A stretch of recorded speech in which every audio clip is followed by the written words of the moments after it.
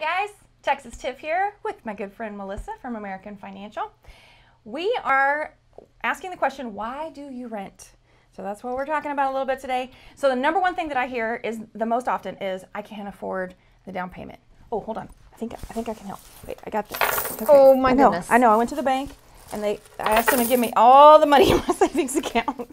So Oh, we're gonna have to count this. So I, I have I saw a house down the street. It was only seven hundred thousand, and um, it has a pool. I want a pool, okay? And so I think I can go look at those now, right?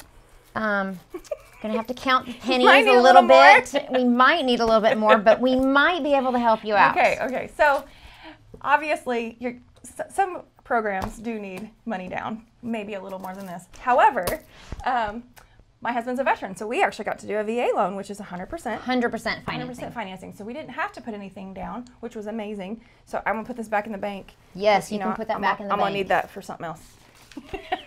what are some other programs? If you're not a veteran and you still don't have a lot of money down, what are, what are some of our options? One of the options is USDA. It is also 100% financing. However, um, it's sometimes, it, well, it's limited to rural areas. Okay. Um, but still, 100% financing is 100% There's a cow financing. across the street. there Might might, be a cow. um, however, it's a great program. You have to have a little bit higher credit scores in order to qualify for it. But again, it's 100% financing. Great program. Huge. Okay. FHA. You hear that one a lot. A lot. It's a perfect program for first-time home buyers that don't have a lot of money down. Okay. Um, have struggled a little bit in the credit area. Okay. And um, so it's a little bit more flexible that way, and it's three and a half percent down. So you can also have other down payment assistance programs help you with closing costs. Okay. But their requirement is three and a half percent of the loan And a conventional loan is like 20%, and I know most of us don't have that kind of cash laying around. So these programs are amazing and they can really help you. Big time.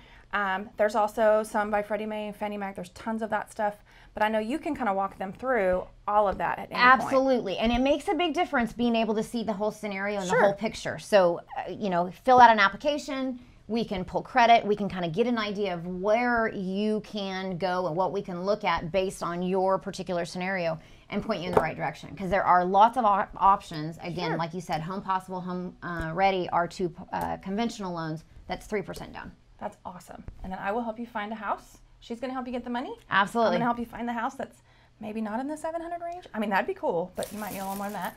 Um, but we want to help you guys out. Thanks so much for watching. Be sure and click the link below so that you can talk to Miss Melissa here about what your options are.